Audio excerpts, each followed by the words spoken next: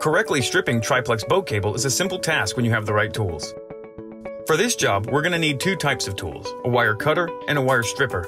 The cutter we'll be using is the high leverage cable cutter. We'll begin by measuring our cable to the correct length, making sure to add an extra inch or so. Having your cable a little too long is better than having it a little too short. The high leverage cable cutter will cut through multi-conductor cables with little effort. Now we'll remove the outer jacket of the cable. If you need to, you can cut a slit between the conductors in order to make removal easier. With the outer insulation removed, we can use our wire strippers on the now exposed inner conductors.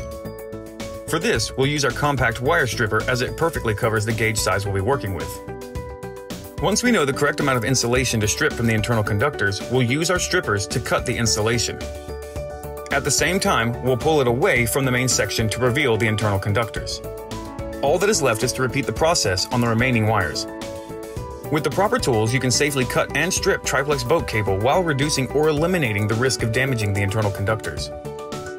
You'll find the boat cable and the tools you've seen here at pacergroup.net. Wire and cable, multi-conductor cable, battery cable assemblies, marine lighting, terminals and connectors, electrical parts and tools, ID products, wire management, tapes and sealant, panel blanks, your electrical partner.